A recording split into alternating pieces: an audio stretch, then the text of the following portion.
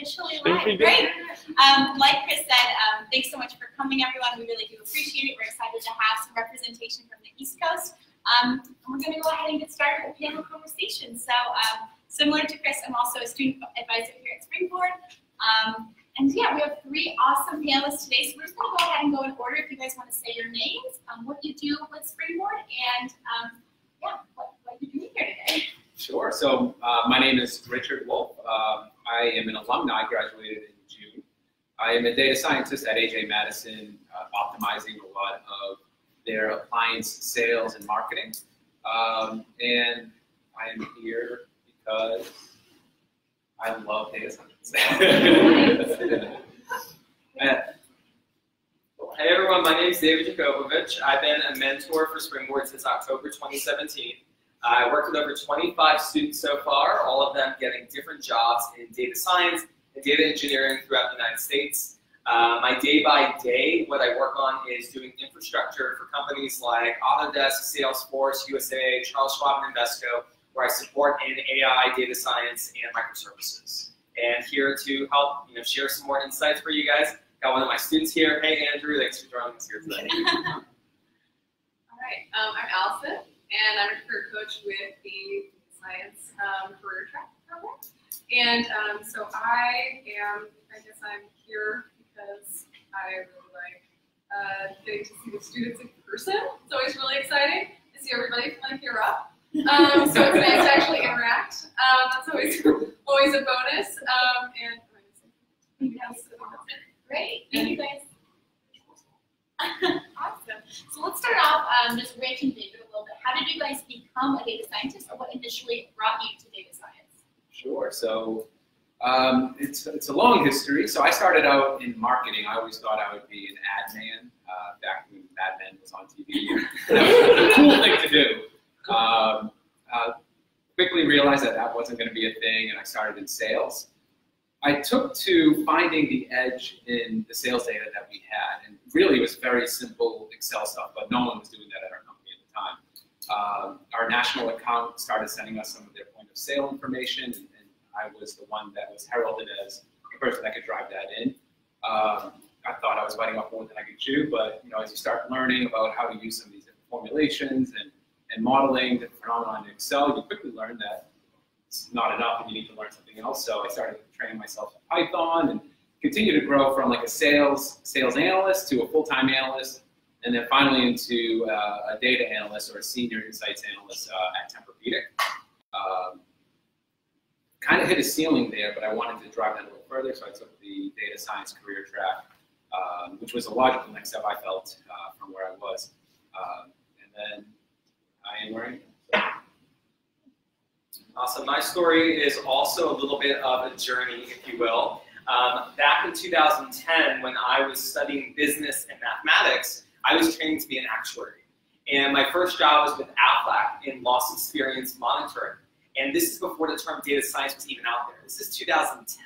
This is before deep learning was even occurring um, at Google, right? So, so back in 2010, I was coding in Fortran, COBOL, and C Sharp uh, for uh, Aflac and they were starting to talk about data and big data, and I said, let me, let me think about this. So from 2010 to 2015 was my journey from actuarial to data scientist. So I moved into financial control, business intelligence, data analytics, Scrum Master, project manager, dashboarding, and advanced predictive analytics into data science, what we call it today. It's been a journey over many companies in the fintech world uh, into 2015, where then I started moving more into AI. So now I'm also very much in that space, which has been a journey for the past four years as well. Um, you know, one of my favorite things about this industry is if you like to learn, you can keep learning each and every day for the rest of your life. There are now, um, every month, more than 6% of the machine learning papers that exist in history are being published. Every month. That's how fast this industry is growing and changing right now. You can go on arXiv and see a lot of those papers. So it's a great industry to learn. Thank you so much. I thought it was Springboard. No, yeah, and I think something Allison you can also speak to is just the fact that a lot of our students and youth both alike um, get into data science in kind of their own organic way. They all come from different and diverse backgrounds, which is really nice because I think that also brings an edge to it a little bit as well. You're able to apply your background to data science. Or apply data science to your background. To your background. Better. Exactly. Um, yeah. So I got a question for David. Um, so with you know, I, I know how I deal with the feeling of not being able to keep up, and, and you know, not even say five percent of the articles being produced. Right. Um, you know, how how can some of the students out here or myself feel like we are able to keep up with what's going on and, and how fast the industry is changing? You know, as as an individual um, in the industry who's both taught, mentored, and actually practiced data science, the number one thing I can say for you to stay current is to be coding each and every day. It really does come about putting in the time into your work. Uh, if you stop coding, you're not able to look at these new research and these new trends and to be a part of that. Uh, sure, you can do different applications. We're seeing automated solutions today from the big players like Amazon, Google, and Microsoft, but it's coding each and every day. Um, I could recommend listservs and blogs for you to sign up with, but then you're just going to get inundated with information. You know, I think just best thing, code each day, and if there's one thing you want to do then to, to do that coding, rather than signing up to all these listservs, go into GitHub and pick the language you're learning. If that language is Python for the majority of this room, Sort Daily is actually, I, I can find the link later, but it's that you can see the weekly most starred repositories on GitHub from every language. Um, I'll have to find that link, but it's really great to see what are those, what are those 10 new Python ones, and then play around with them. New algorithms, it's practical. Yeah, I think that's a great kind of hashtag, code every day. Let's, Yeah. let's make that a New York meetup. That's right. Great. Um, I guess speaking to your guys' journey beginning and like beginning the, the introduction that you had to data science, is there anything that you would have done differently or any tips or tricks that you might have for students who are just starting or maybe who have just joined our courses? So for me, I when I started my journey, I uh, started to go to a couple of meetups, uh, data science meetups, and I kind of fell off that wagon. I wish I would have stuck with that and, and have been in person for some of these events a, uh, a lot more often. Uh, that is the one thing that I would recommend. Is make sure you get in front of face to face with other data scientists that are in the field doing the work and, and learn from them, work on projects with them, and, and, kind of use their expertise to help you grow. Well, you provide value to them by helping them with some of their projects as well. I'll, I'll first second what he just mentioned, and then I'll share the point I'm going to say as well, is you are as strong as your network, right? It doesn't hurt to start relationships a year, two years, five years in advance that you need them. Uh, a great example is one of my friends from high school. This is now dating myself so much, but um, we go back a long time, and for a different cause, nothing to do with tech or startups, we met together this summer in Washington, D.C., March for Our Lives. We're both organizers for that movement. And well, ended up being that, well, he's running Halcyon House in DC, the number one nonprofit, you know, startup space. And I was doing some work with Angel Hack, and it's just minds coming together. Uh, I don't look at this LinkedIn every day to know that, but we found out, wow, how cool, how can we work together? So I totally agree. As powerful as your network, meet people today, every single day. Um, okay, so what's my point I want to share? If that one thing you can do every day with your mentors as you're in this program, ask questions, ask as many questions as you want, challenging as it is. It's fine. For you, it might seem insurmountable, um, but I'm here to help, and your mentors are here to help, and we want you to be successful. Whether it's career advice, whether it's coding, how to break down a function, ask the questions, keep asking them, email me throughout the week. I want to be here to support you. We're all here for your success. So yeah, I would just say to piggyback on that is I think that there's kind of two, obviously I love you guys are waving the networking flag. So happy.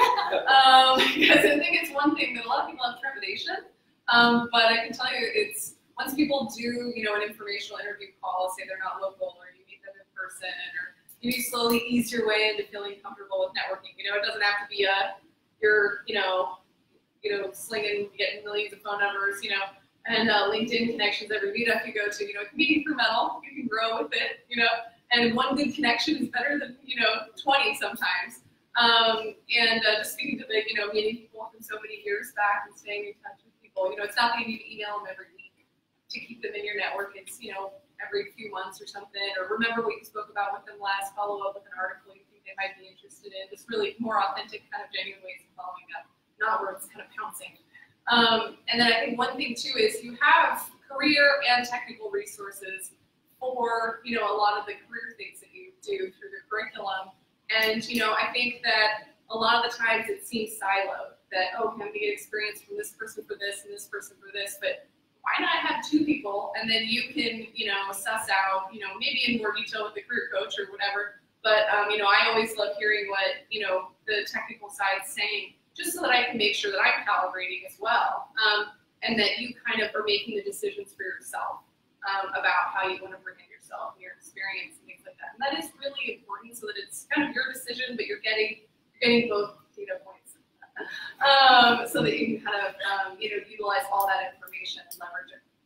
Yeah, and I think speaking to just like our online platform in general, there are two really great ways to network to some extent. I think one of that is through our community. So I know a lot of you you are at online portal, and I think through the community you can also you know meet other students who might be in your area or who might be nearby. That might not be you know an exact networking event like tonight, but just I think the community is one really great way to play into the networks that you might have currently. Alongside that, we do host office hours every Thursday. Chris and I um, host alongside uh, some really great mentors who join us as well. But I think that's another way um, just to kind of see the community that you're working alongside and to really reach out and get those contacts then. So um, really urge you, if you haven't already, to look into those two direct options that we have in Springboard as well. Um, so I guess moving, speaking of like the networking options in general, do either of you and Allison, you as well, have any really great networking events that you did at before or that you, like a platform that you've used to meet other data scientists? I went to one, like I said, I went to some meetups early on in the process and kind of call it the wagon. I, I went to a couple of meetups. Um, I think it was the data science meetup, I think that's what it was called. And I've met uh, two folks there who were going to school actually at Stevens for the data science master's program. Um, and, and, that was a good opportunity to meet those people. Um, as far as other networking events, I haven't really taken part in much. I've you know, worked with my mentor a lot, and he's introduced me to other mentors and other folks in that part of the program. Um, so I guess other than networking events and other opportunities, just really working those networks that you already have to, to help you out with, with uh, extending that network as well. Don't be afraid to talk to anyone that shows even the slightest sign of, of um, affinity for what you do or, or wants to work in, in the data science world. I was on a flight going to Kentucky, and I saw someone with uh, how to automate the boring stuff with Python.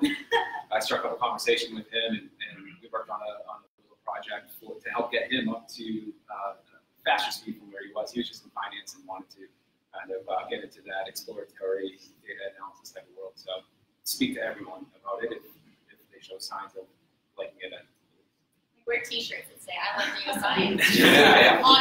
You'll make a lot of friends. I would say also, I remember Rich did like one really kind of like creative thing when he was networking, which was you were listening to a podcast, Oh, yes, yes.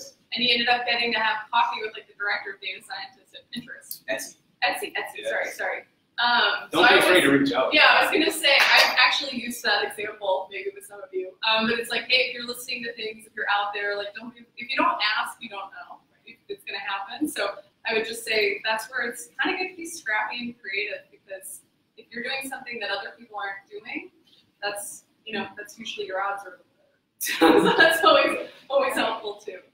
And for those of you who are looking at startups, it's no longer uncommon to think that startups are only in San Francisco and the Bay Area. New York's the number two startup capital in the US. And a ton of these startups will invite you for free lunch on Thursdays or Fridays with their team, with the data scientists. So You can reach out, have free lunch, have coffee, go to their happy hours. It's just like the Bay Area. Um, if I have any prediction um, in the next 10 years, I'll echo Fred Wilson. I think New York's going to be the number one tech startup hub in the U.S. Obviously, Amazon's bringing, you know, 25,000 jobs. Google's bringing another 15,000. You know, we see a lot of startups growing really fast right now. Um, you know, what are ways that you can network and get out there more? Of course, you can go to Meetup, which is now part of the WeWork family, and that helps a lot as well. Um, but beyond that, um, since we're almost in New Yorkers or New Jerseyans here today, sorry, my Californians. uh, you know, one of my favorite guys is Gary. If you guys know Gary's Guide, if you're not on Gary's Guide yet, check out Gary's Guide. It's free. You can you can sign up every week. Gary, um, he's when it really kicked off after 9/11, when tech really kicked off here. Um, and uh, free events, paid events, all that, they're all, um, you know, gathered together there, and it's really great. Um, you can sign up for, again, tons of listservs, but Gary's Guide is good enough. You'll find most of your events there. I would say also, um, I think I think that there's a built-in New York City. Oh, Built-in and West is great. Yeah, so those are, and they've got a great interface when it comes to like their job too. They're kind of one of the ones I really like. And they usually have events, and there's also American Inno, which is in like cities. They kind of pick um, like every city but San Francisco, um, which I think is kind of funny. Um, I'm based in Boston, so it's kind of nice to have something in Boston. It's uh, you know not not always seen as a tech hub. It seems like where a lot of them come from, but not always where they stay. So um, that's where I'd say those two sites are what I send to people a lot. Um, you know, in very kind of cities, but I know in New York it's be really helpful. Um, for also just identifying new companies too. Also, there's a Boston-based firm, uh, VentureFizz, uh, that just opened, just started doing things in New York City and has been trying to build kind of a presence here as well. Um, they also have like a job alert type thing. They also list events and stuff like that. And they actually do a pretty comprehensive job with of that stuff. To, to add on to what Allison was sharing, also for these events and these meetups, most of these meetups are sponsored, and they're mostly sponsored by companies. Startups are big companies, and there's almost always recruiters at these events, and they want to hire. Um, there's almost 400,000 jobs in tech that are right now unfulfilled in New York City, which is really crazy that they just can't be fulfilled. In data science alone, there's over 3,000 active jobs right now that cannot be filled. There's just not enough talent. So it's like all of you can be working in these jobs, and they're opening every single month. So um, you know, attend events. I wouldn't say go to 20 a week. Then you're not spending time studying and, and learning and growing your craft. But you know, if you can get to two or three a week, I think that would be a win. And I guess we're going to kind of now move to the interview process and then go to like what it actually is like to be a data scientist. So I guess Allison, this might be a little more directed at you, but David Rich, I'd love to get your guys' opinion as well. Um, in the interview process, what differentiates a candidate from being a great candidate to just a merely all right or good candidate? Um, I know from my like recruiting experience, the big thing for me was always communication. So if they got back to me quickly, gave me what I needed, I knew where they were. They let me know if they were interviewing with companies, and it wasn't. I know sometimes people don't want to tell agency recruiters where they were interviewing because those people are trying to get leads. um, but if it's a corporate recruiter, so somebody that works directly at a company, um, they're not trying to get leads. They're just trying to figure out where you're at in the process, and how interested you are. They're investing. You know, if you think about their time, that's an hourly wage the company's paying. So every hour they spend working with you, you know, they're investing that money. The more they spend, the more invested they are. It's kind of like when you know car salesman tries to keep you in there longer. Um, so feel more like you to buy it. I think that's nothing. Um, but uh, not sold them. Uh, but you know, those are the types of things where I think a lot of the times it's the communication, and then in that the key is follow up. Don't expect a recruiter is going to get back to you. um, 99% of the time, you need to follow up. Um, it is not going to be where it's on them. It's you're the one that's trying to move the process forward, and they can have a lot of things going on in the background that are really out of their control. I can tell you that I've had hiring managers go to Europe for three weeks, and I have to wait till get there. um, so you know, and not all recruiters are great at communicating that. Um, so it's good to follow up, but also you know, not not following up too aggressively. You're just communicating those things. If you do have concerns, communicating them in a very you know calm, kind of rational way. Always good to not be accused of um, because they're you want them on your side. They're the ones that are going to advocate for you, to the hiring manager. If they really like you, they're going to try and. Um, so there is a little bit of a sales game. It's always good to remember when you're interviewing, you are selling. Um, and I know a lot of the times when you're in tech, you're like, well, I went into tech because I didn't want to be a salesperson. Um, but you know, hey, if you're trying to get a job and that's the goal, kind of sometimes you have to do things that are out of your comfort zone that. I want to add some additional comments to what Allison shared. So first off, she's way more experienced with recruiting than probably anyone in this room. She's really experienced there. So always feel free to ask her more questions. She's done great work, particularly in the tech space.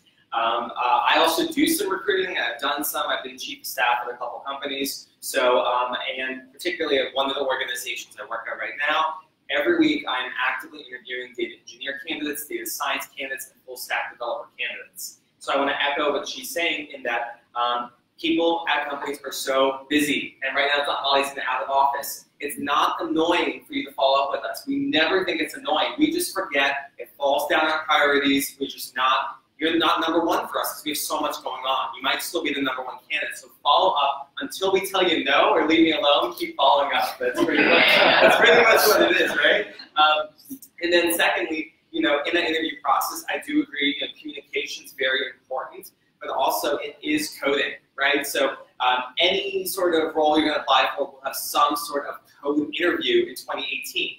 and often they start with a remote code interview on one of these softwares. You can name a dozen companies now that all have it.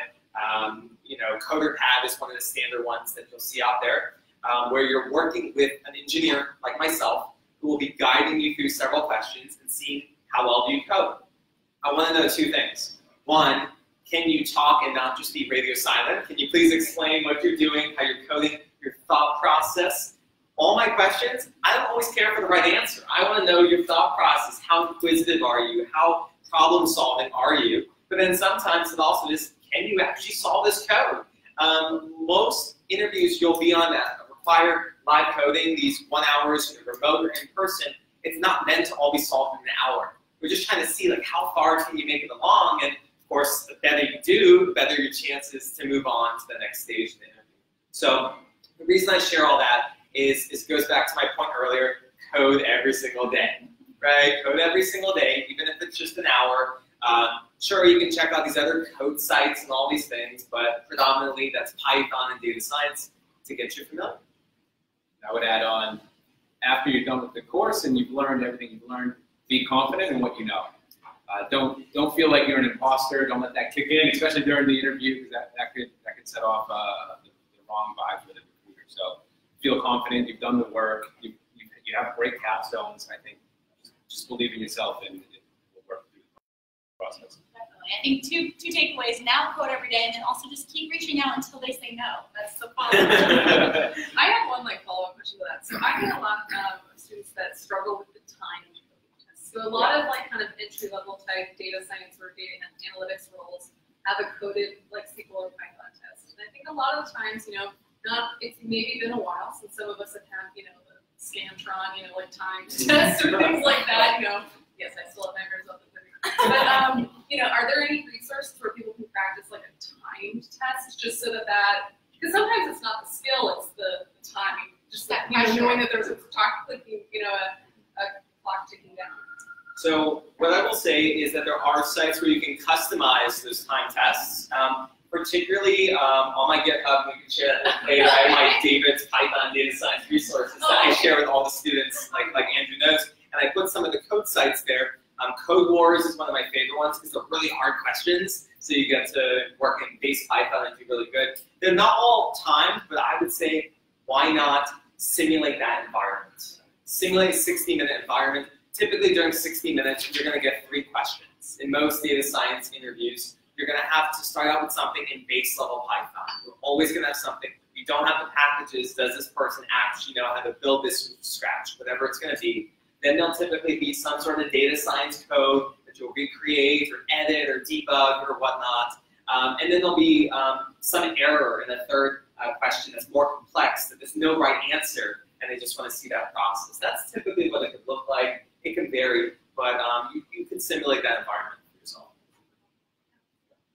Those are really great resources. Thanks for sharing that. I think just like to summarize and if I'm understanding this correctly, it's not only to be able to code, but to be also able to explain what you're doing and explain your thought process. I think from what I've heard in the past, a lot of the times, if you're unable to explain to people who might not be in that tech background or in that data background, they won't be able to understand what you're going through, or what you're doing. And so being able to have that communicative language, um, those soft skills to be able to I want to add that you know I'm not a full stack engineer by trade, but sometimes I intentionally interview full stack uh, candidates with another one of our full stack engineers just to see, oh, can I actually understand what they're trying to do? Are they actually explaining well, or if it's so bad, you know, I can't understand it, no business person is going to understand it. So um, you always want to assume whoever is interviewing you could be that non-technical manager who's just really trying to see, is, is this person a culture fit? Do they explain things well? So I would say a gateway question for that is in your phone screen when they say, tell me about yourself.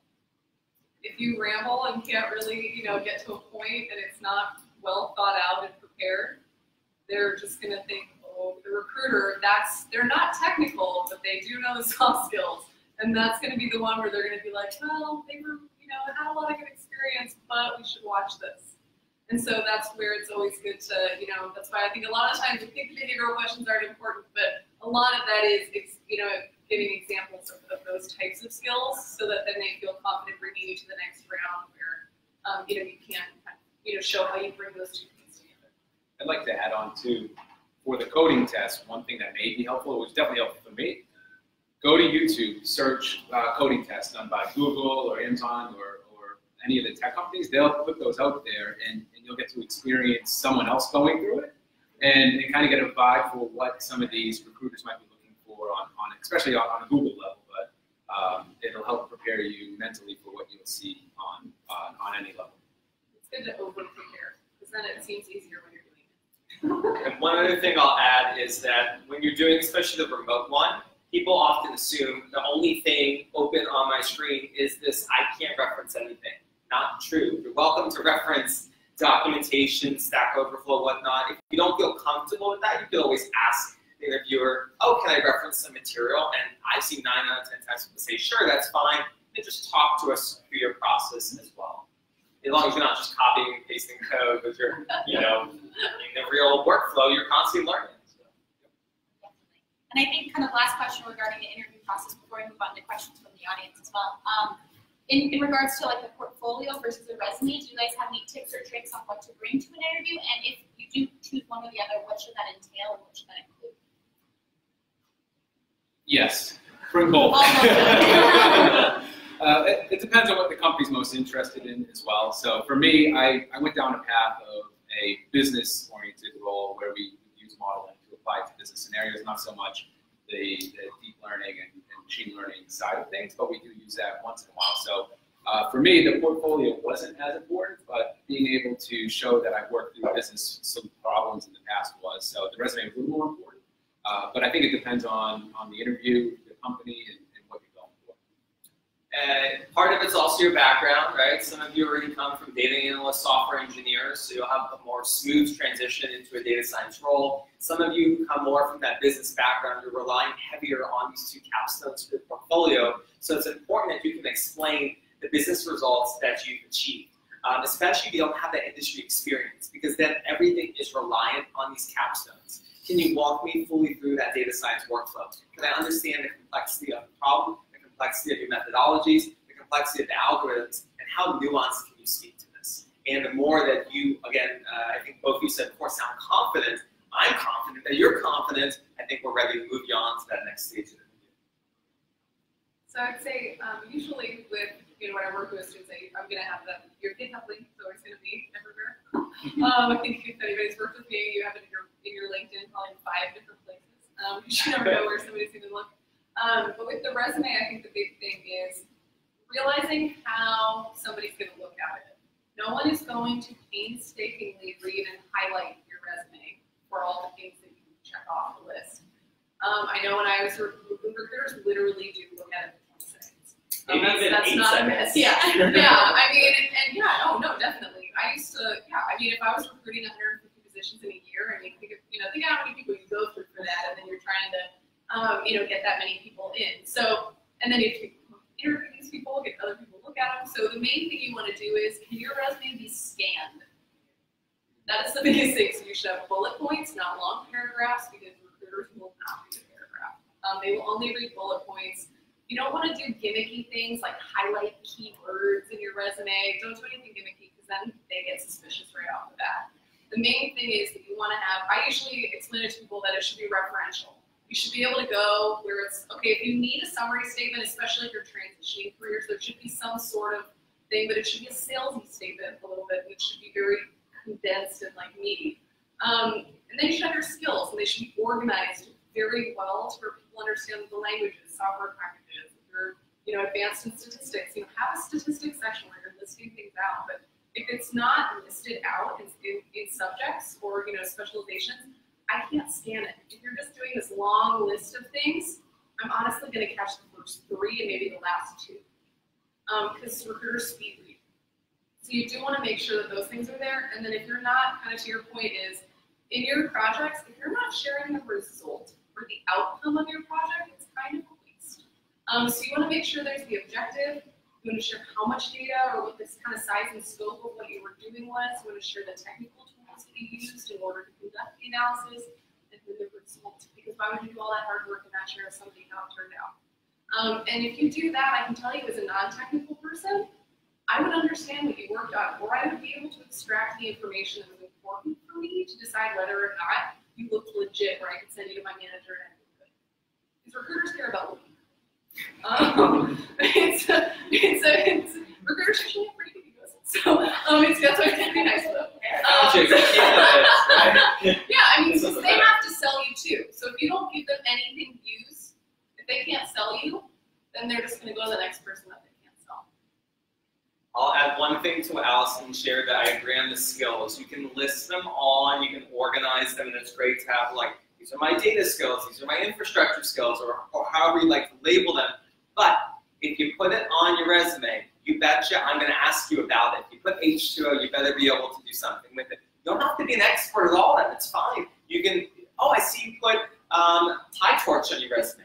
Yeah, I've done some beginning work with PyTorch. I wouldn't say I'm an expert. Okay, great, thank you. But don't put it there and be like, no, I just put it there, right? Because then, then I'm like, all right, next. Yes, That's more, Ariana. yeah, we, then they know you're like a keyword monger. Or the people that do the, um, they put all the keywords and then put it in white font so that it comes up in the Ooh. applicant tracking. Don't, please don't do that. Don't be that person. Um, because recruiters do highlight the resume to see. And it depends which company, right? So some companies, the recruiters are, you know, keyword searches, but then a lot of startups, they can't be bothered with that software, so they're just using Lever or Google Get in, and I'm looking at the resume. The cover letter, maybe, but I'm looking at that resume. I want to, I want to see what you got. And yet some of them don't even have a system yet. Some of them are literally, they just have a, you know, a little system where you send a resume and it goes straight to like their front desk person. You know, so, um, you know, there's different, definitely varying things. Um, but I would say, yeah, not, not going super gimmicky. Um, so it's, it, there's, it's not really a game. It's, you know, if you've got the right things and you're trying to get the things, it's, it's important. Um, one caveat is the cover letters, it should not be a full typed page. Um, they should be a hacker page and they should not be a list of all of your skills. Um, they should be, hey, you know, I'm really excited about this opportunity. You know, this is why I'm interested. You know, are you maybe something anecdotal about why you're connected, how you're connected with what they do, their industry, and, and you know, and I have some of this experience. That's why you know I'm interested in this role. And a brief statement about like, hey, you know, I've got this experience, and I think I can contribute to the you know X Y Z team or something a little bit more specific to this role you're applying to. It'd be great to hear from you, or you know, please let me know if you have any other questions. Looking forward to you know speaking with you. Something that like for me that would be like, oh wow, they were able to summarize something. It was articulate, and like they didn't, you know, I'm more likely to read that because then it showed me something personal. Like you actually took the time to think about how that company or that industry had impacted you. So it's it shows that you took a little thought, and I can guarantee you that if you get in the um, mode, I have a student that literally hated writing cover letters, and she's gotten into this cadence of being able to write them, and she's writing really good ones. And I'm just surprised. And even if you don't feel like I'm not a creative writer, that's not my thing. Um, you can definitely start to do it. You just find your own style. Um, but it's definitely the length. Shouldn't be more than half a page.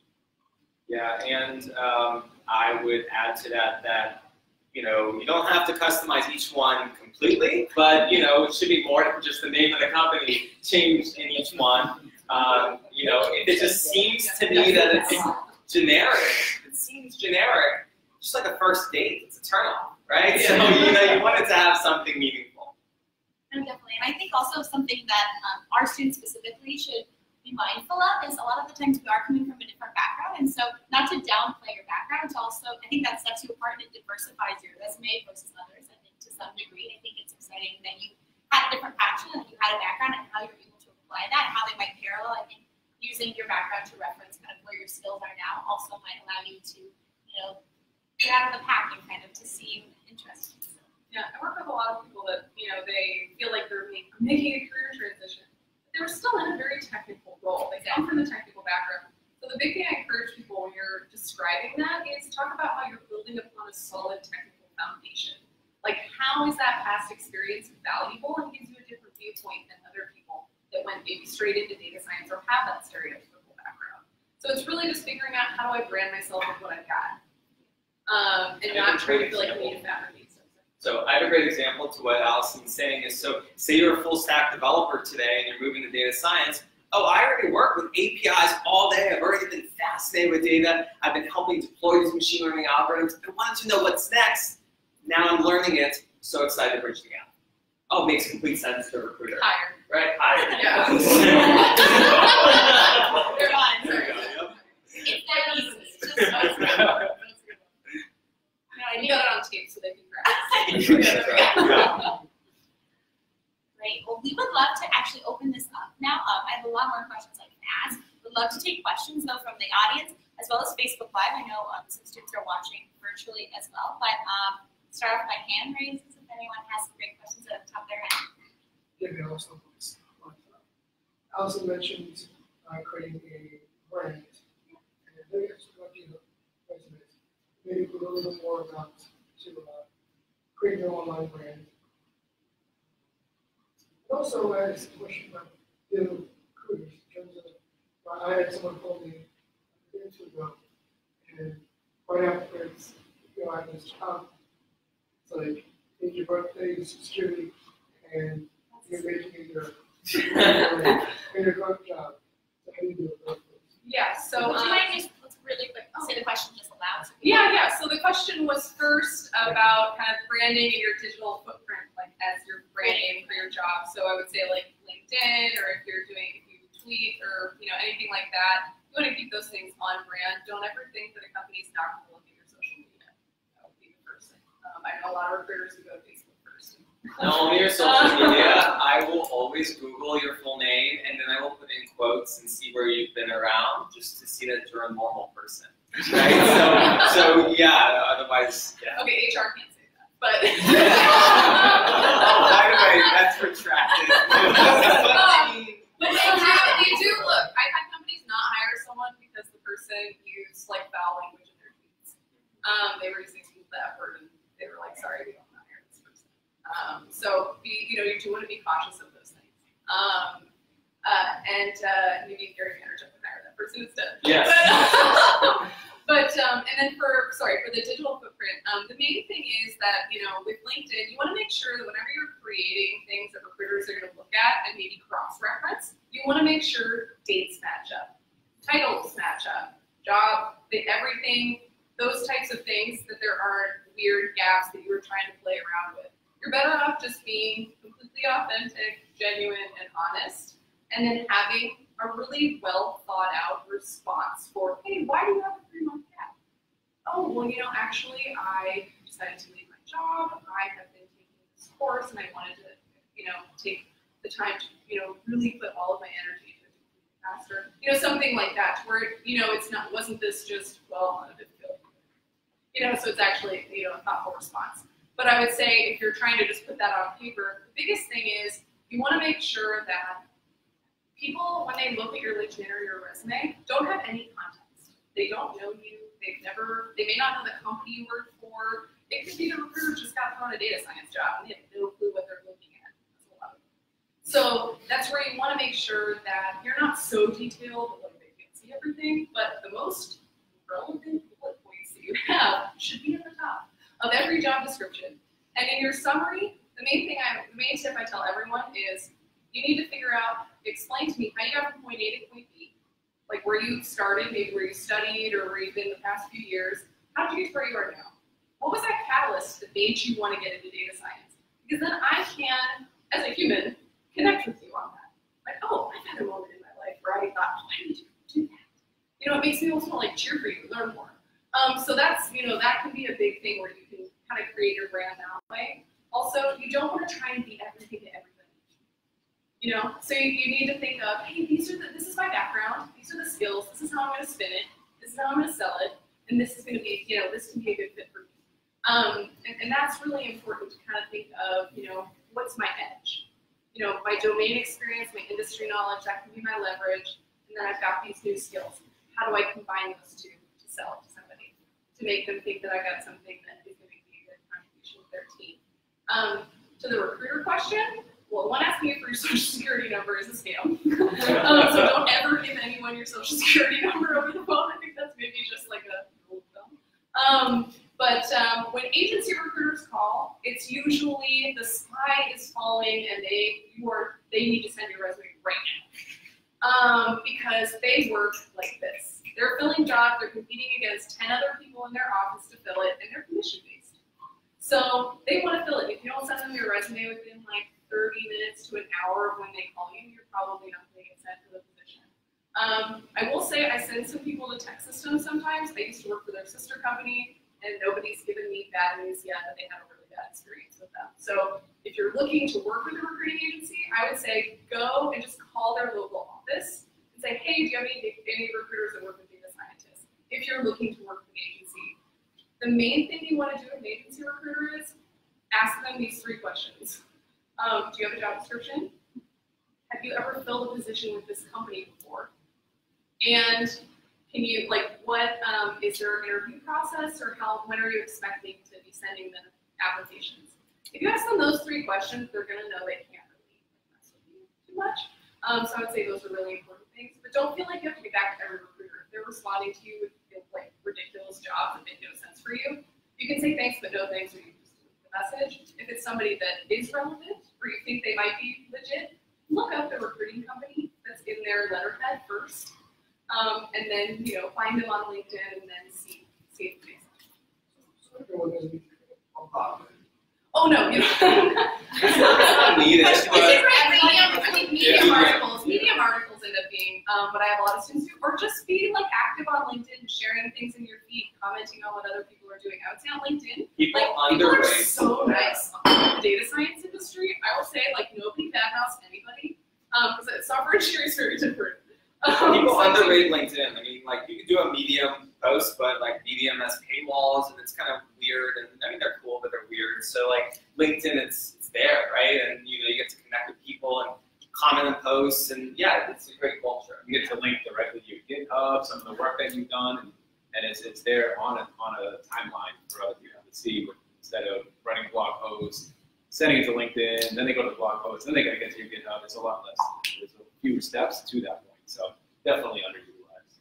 And uh, yeah, Sorry, sorry, no, but there's a girl on, uh, her name's Kate, and her last name is really hard to pronounce, like Stretch Me or something. And um, she does humans of data science, like vlog type things. Um, and sh- so I would say those are great. She basically interviews data scientists um, in like all the videos they talk about what they do. So I would say that also can be like following those types of things, and then maybe seeing if you can connect that data scientist and follow them, different things like that, where you can start commenting on those and then connect with them.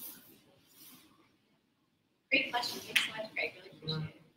I just add one thing about your you guys about salary, because this is a very New York specific thing. There was a law passed in New York City, so I'm here in New York, um, Oh, Boston too.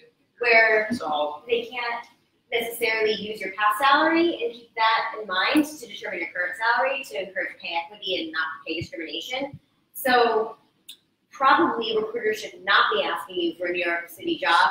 What was your past So salary? I'll add to what Julie's asking as someone who Or, hires sorry, in New. York. Oh, I was just Uh, no, no, I actually know also. So this passed in November 2017. It's just for New York State. It's not for New Jersey. It's for nowhere else. But I can still ask you whatever question, but you're not required to respond, and I can't penalize you for not responding. So instead, here's a great question recruiters should ask: What are your salary expectations in that's what they general? should ask. in all And then uh, you can always decline that and say, you know, what is the compensation control? And then it's a back and forth cat game sometimes. Or then you're just like, oh, commensurate with experience. It seems that this role and my experience would pay, you know, 90 to 120. You know, then you can give yourself a definitely, range. definitely do the research on Yeah. the role that they have the posted. And Glassdoor, AngelList, Exactly. and then you have a number to go off of. It's not your salary. Also, Right. PayScale is pretty good too. Yes. So you don't want to use one source. Um, I think also like people will be like, oh, I went on CNN Money and this up. Those numbers are really off. Um, I will just tell you that. Um, so I would say PayScale is actually like a company that literally goes off of salary data that they collect from companies and organizations and like PeopleSoft and all that kind of stuff. So um, I would say those, and I'm pretty sure that's a free PayScale is a free resource. I think I believe so. So I would say that, and then if you cross-reference that with Glassdoor and those types of things, um, but I'd say uh, I found PayScale to be a little bit more accurate for Yeah. when I'm working with students, but it's always a little bit of a crapshoot because you could think you're worth one thing and they think you're worth another thing. So I usually tell people to say, hey, I'm looking, I give them, if you're not sure, give a wide range. And then just say, but I'm flexible and I'd like to learn more about the responsibilities of the role. Usually companies are pretty okay with that. Don't, don't give me a range like 70 to 150. Like 70 to 90 or 70 to 85 20 to 30 is is usually an okay range. And you just have to make sure you're comfortable with the bottom of your range, because I know as a recruiter, sometimes companies, if I say like, someone's 80 to 90, I'm probably gonna offer them 80, knowing that they'll negotiate, and then psychologically you negotiate up. And then candidate's happy, you're happy, but if you say 70 to 90, but you're really only okay with 80, if if they then offer you seventy, you're kind of, you already said that that was okay with you, so you have to be careful. with it. I also And- have summer, oops, don't be afraid to negotiate no matter what they come back with. And not just salary. You can negotiate time off, negotiate uh, working from home. Uh, any, I negotiated in two weeks of paternity with my last role. So uh, negotiate anything and, and get what you need out of the role, especially if, if you're providing enough value to the company to fill that. role. I mean, keep one thing in mind, you do have to work with these people to accept it. So, um, don't be dogged in your negotiations. Um, I would say that's where the communication thing comes in. You can set up a negotiation call. Um, I would not recommend emailing with all of your requests because it can make you look really creepy. You know, anytime sends you somebody sends you, you know, an email or a text, you're like, you know, you you take it the wrong way. You don't want the company to take it that way. You don't want them because they can always take the offer away. They can decide that they didn't like how you were during the negotiations or how you came back and blindsided them with wanting 20k more than, than they offered or something, and they can take it away. Um, so it's always good to keep that keep that in mind. Um, but I do recommend doing negotiations over the phone. Um, it's always a good idea too to follow up with what you discussed in an email, saying thank you so much for your time. Thank you for discussing these following things with me. This is how I understood what we discussed. You can do that if you're worried about having things in writing, but um, more often than not, they are the predominant. Pro- Provide documentation if you can too. Yeah. So have a printout Glassdoor or PayScale and say, this is what I'm judging it based off of. And that way there's, there's some data to back up why you're asking for what you want. And that helps the recruiter. Sometimes they don't always have stuff to go to their boss with, and their boss is, you know, worried about their budget. So, And by the way, so like Glassdoor, the salaries are way out of whack. By the way, so you should, you should literally never believe the numbers on Glassdoor, but the reviews are amazing. The reviews do tell you the culture's so true for a company. Look at the five stars, look at the one stars, look at both. Obviously, take five and ones with grains of salt. Maybe sometimes the twos and threes are better, but it's it's good to look at. also with Glassdoor, make sure you're looking at where these people are coming from within the company. Um, I usually tell people if you're looking at all the customer service, like call center reviews for a company, and not the engineering team, you know, those are normally high volume, high turnover type jobs where people usually use it as kind of a filler job. You know, it's not something they want to be in for a long time. So it's one of those things where you do want to make sure, okay, are these engineering reviews? Are these the, you know, the technical team reviews? Because sometimes um, those can even be separate buildings and separate locations. So it's always good to take that into account too. Also, if you do read negative reviews but you still want to talk to the company, it's okay to bring it up with the recruiter, but in, in a nice way. In a nice way. But you can say, hey, you know, I read some negative reviews about this. Could you speak to it? Um, and that's totally okay to do. Um, I'm sure they'd rather be able to, to speak to you about it than you just discount them And the way I love to play with that is also like, um, you know, how does your company encounter technical challenges with remote teams if they talk about that? So like you're like, Oh, yeah, you know, yeah, yeah. yeah. Love that. Yeah, it's good to spin it into a question. Oh, Yeah. sorry, she's Welcome. What's the strength of career company like this? Because it's, it's an online platform, so when you get from you, that we put this feedback, you know, like program. Um, yeah, so I think, oh, yeah, yeah, yeah, you probably speak to it more from like an employer, but I would say, I think the David, biggest you thing mind is knowing. answering the question or saying the question first? and then- Oh, so the question was, how do, how do, do recruiters respond to, you know, students having gone to, um, an online course or Springboard or bootcamp in general? Um, and that's whether they see it on your resume or if they're talking to you. Um, I would say the biggest thing for me is, are you articulating what it is and are you just giving the selling points? Because I think the biggest thing is, um, you know, I usually, for career track students, I'll give them a blurb of kind of what to put, and it's, hey, this is 550 plus hours of work where you're working one-on-one with an industry expert, creating two capstones. A lot of people don't realize the course is actually that intense. Um, they think that it was like a three-week Coursera thing. Um, so it's really good to make sure that you're explaining it. And then also, I usually have you include with in the education section too, if that's where you're listing Springboard, is your GitHub so that they're going and looking at what you did. Um, but then also, you know, that's in your projects as well. So I would say that's how I hope you, I would, I talk to people about presenting it. You can probably speak better to how. Yeah, and so you know the bootcamp industry is a big industry and it's rapidly growing. And I think um, people who hire from boot camps know Springboard. It's a big name in the space, especially data science. So um, I personally treat it, I treat all boot camps equivalent. Now, generally, whether um, I, I try to level the playing field. So it's like, let me get you in the door. You know, you went to one of the top boot camps, but then let's see how you do an interview. I saw a hand over here earlier. Did you? Oh, okay. Um, how many projects is it advisable to post on one's LinkedIn page in terms of links to projects? So like the business analytics courses on projects, is it best to link those in a folder and have like a Google Drive link?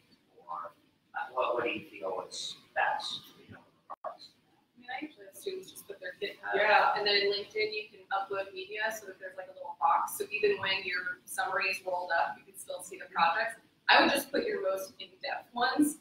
Um, you can probably speak better to this, but I usually tell students don't, if you're in the career tracks, don't don't list all your mini projects um, because a lot of those too are like code reading learning.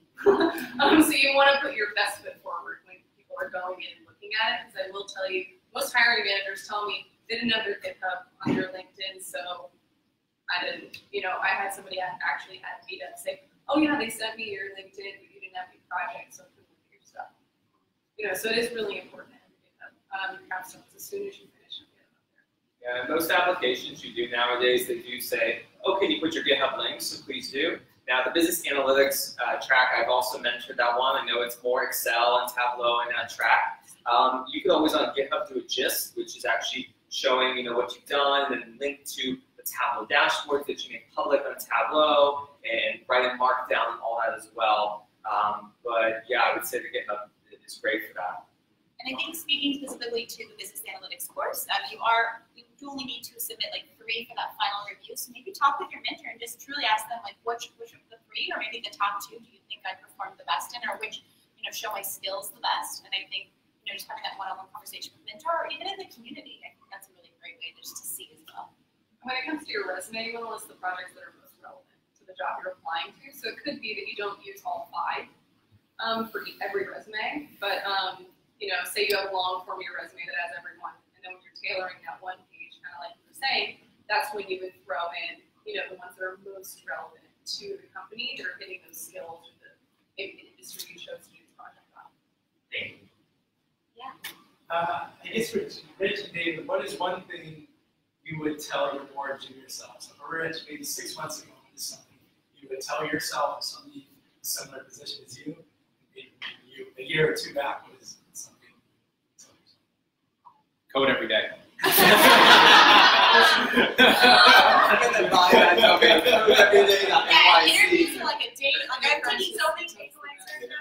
Um, I would say when you go uh, to, what I would tell myself is when you go into this program or the software, really understand what it is you want to do. Uh, do you want to be the next AI developer or deep learning or, or, or put projects into production stack with, with your data science projects? Or do you want to be more of a, of a business uh, analyst but be able to model business phenomenon? So for me, I really didn't know what I wanted, but my, my fit was best for the business analyst side using a lot of the data science models. So um, if I had known that, I may have focused more on some of those business solving projects and, and done a little bit of that. It's not too late to do that, but um, understand better what you think you would be a fit in or what you want to do, then, and focus your projects and focus your daily habits on around that. make sure you have your career coaching call for your first call. We will talk with you about that. And I know I've prompt a lot of people when they have maybe their second or third mentor call to ask them those questions. Because a lot of the times, even if you haven't thought, I can work through it with you um, and give you pointers. And then, you know, I'll direct people always to the mentor when it comes to, you know, career, sometimes with the career pathing things that are specific from like their experience. I would say continue to talk to Allison and your mentor about that as well. Um, I'm, I'm sure we spoke about that, my mentor and I spoke about that, but then you get a little bit of FOMO of what you see going on from Google and Amazon, things like that, and then you get off track again. So continually have that conversation about where your, head's at, uh, where you want to. And I think, Rich, too, speaking to that, I know some of our students are in the introduction or intermediate course with business analytics course, and they might not have those career calls yet. So I think another thing you could do is go through the different units. Um, there are a lot of there's programming, you know, there's storytelling, there's a lot of different uh, components of the course that you might find interesting. So play around with that. I know a lot of the times when I have my calls with my students, they'll say, oh, you know, data wrangling, I'm really struggling with that. Well, that might be that might be your strong suit. So kind of look into the other different components of that specific course and kind of find where you naturally fit in or find where you know you're naturally excelling. Don't be afraid to reach out. You know, reach out to me, reach out to David. I want to speak to David. I'm sure he's, he's open. Um, and say, hey, I, got, I have these questions. Uh, reach out to anyone in, in the professional network and, and help talk through it. Uh, you're not, you don't have to go through this alone. Yeah, that's big, you have a lot of people you can ask questions. You can call up someone that you heard on a a uh. Yes, Let's go have coffee with them. Yeah. On the back of your networking pages today. You know, where we are in 2018 is the data science industry is growing so fast. You know, I, I only shared one statistic earlier. 6% of machine learning papers came out last month. In 2018, 30% of all, 35% of all machine learning papers that have ever been made were made this year. That's how fast this industry is growing and shifting. Therefore, it's great for you to specialize. And that's why you know, Springboard now has the NLP, the advanced machine learning, the AI track, the AI specialization coming on, you know, all these unique tracks to help you specialize. And the jobs are no longer just data scientists. There's ML engineer, NLP engineer, AI engineer. All these also could be researchers, they could be applied. There's so many different job titles in this now. So when I see there's 3,000 active jobs in New York for data science, that's just with the word data scientist, nothing with AI, nothing with research, nothing with NLP. Um, you know, where would I a couple years ago think about what I could do sooner? Try what I want to do now. You don't have to wait a year or two to get into this algorithm. Play around with it now. You know, uh, play around with this PyTorch algorithm. Play around with TensorFlow. Try it out. You know, get your hands dirty. Find a tutorial on that. Ask your mentor. They'll push you in the right direction. You know, um, and if the material is not available, on Springboard DataCamp, they'll say, oh, check out this Udemy course I love. Check out this Packt or O'Reilly book that will take you to that next level. So we're here to bridge that gap for you. Great questions. Yeah. We got one time for one more question. One more question. Great.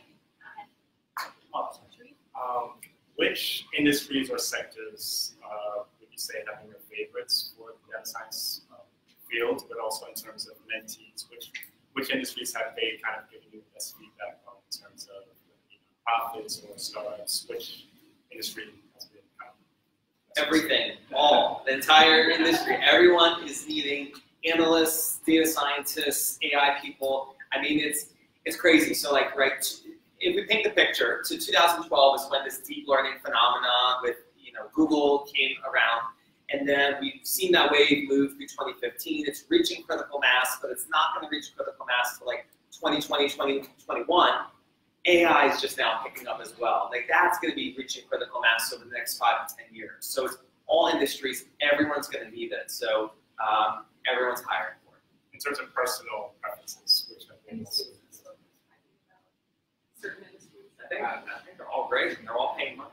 And everybody's, everybody's different. Yeah, yeah, Everybody's of different. And one thing I would say is that, like, kind of the, the realistic thing that should go through your head, especially if you're transitioning, is to think about where's my leverage? What do I have already, like, from my domain knowledge or my past experiences that would give me some insight, you know, that I would already have into this industry? So maybe if you're in the nonprofit space, you know, those are that would be, you know, a great place to go. You already know how they work. You know, maybe how the financial side, which is very different than you know a corporation would be. Um, maybe some of the regulations, things like that. So it's always, you know, don't undersell your past experience. But you got to figure out how to use it. Um, and so Or your passion to it. Yeah, yeah. And I think also if you haven't found your passion yet, that's okay too. I think there is a lot of pressure to like, you know, love what you do and you'll never work a day in your life. You know, that's a lot of pressure. Um, uh, you know, I think I'm still figuring those things out too. And I'm a career coach. So, um, you know, but I think that if you're always seeking it, you know, that's can still be can still be fulfilling as well. So so I think it's just following what's interested interests you. I usually tell students don't look at the job titles. Look at what projects am I going to work on and am I going to get to use the technologies that I want to grow in. And that a lot of the times is going to help you find opportunities that you'll find fulfilling and without obsessing about some of the things that you may not have control over and honestly are extremely inconsistent because I usually say data scientist titles are like snowflakes, no one is alike. Um, because every company has a different interpretation. And the interests are so important. I'm going to give two case studies of a student who I worked with and one who I'm currently working with. One of them in the Boston area is so fascinated around basketball. That person had a basketball podcast. you know, Oh, yeah, yeah, and, and, um, really was interested. And I say, usually two different industries, but they were so gung ho on basketball that we did two capstones on it. They wanted to work there. They said either the NBA or DraftKings. Are the only two companies that want to work. And we got them, you know, interviews in both, and they ultimately got a job at DraftKings. But since day one, we were preparing for it. And I even knew some someone at DraftKings. I know like their head of strategy, so like we connected and just made it easy. So if you know, also your mentors are here to help you on that journey and to prepare you there for day one if you know. And if you don't, I generally recommend two different industries for your capstones so you have that um, experience. The current student I'm working with loves esports and the whole esports phenomena, and they're in Charlotte in the Research Triangle. And I told them, "Did you know Epic Games is there?" And they said, "No, I didn't, but they don't do esports." And I said, "Yes, they do. They're giving out $100 million in esports this year.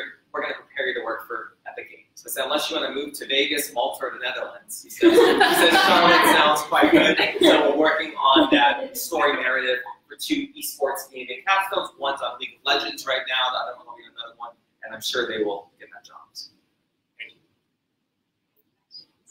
All right, well, um, if you guys have any questions that we have not been able to answer today or anyone watching Facebook Live, feel free to email Chris or I at support at springboard.com or Molly or Chris at springboard.com and we'd be more than happy to relay those questions to our community or you can bring it up in our office hours next week. Um, but just wanted to say thank you so much to our panelists for joining us.